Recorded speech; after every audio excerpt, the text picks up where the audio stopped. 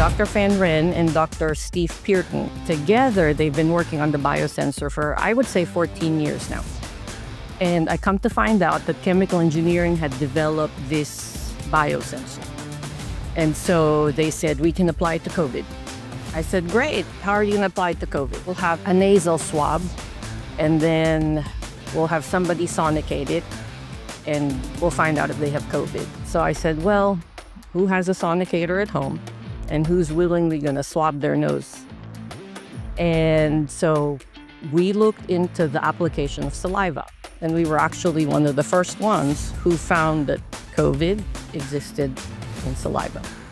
And so now moving on, here we are four years later, and we're still applying this sensor to other diseases, particularly breast cancer and oral cancer. The breast cancer has a very personal spin for me and Dr. Ren so my mother died of breast cancer, and um, she the reason was she didn't want to get a mammogram. She said uh, it hurt, it's expensive, and it's very inconvenient. And his wife too passed away from breast cancer, and so I said, you know what? Surely there's an easier way.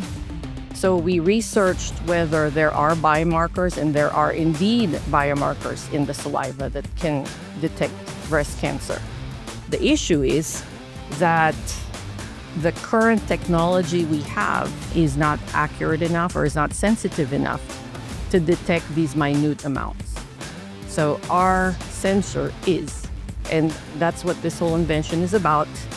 Our goal is to basically improve diagnostic screening. For women who wouldn't normally be tested for breast cancer, hey, spit out in this cup. And if there is any alarm bells or any levels that are high, go get a mammogram. So we're not wanting to eliminate the gold standard, which is the imaging and the biopsy. What we are trying to, to do is to spread a wider net for diagnosis. For our 2024 Innovation Award, my group select the collaboration project from Dr. Fan Ren, Josephine Esquivel Upshaw, and Yu-Te Liao's group in Taiwan. Their ingenious creation combined biochemistry with circuit boards to create a multi-target sensor system for detection targets simultaneously, which also increased the sensitivity 100 to 1,000 folds. This will have a lot of potential, not only in healthcare, but also environmental contamination detection, as well as other fields. So congratulations to these groups.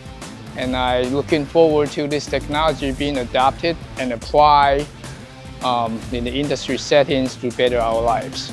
Thank you.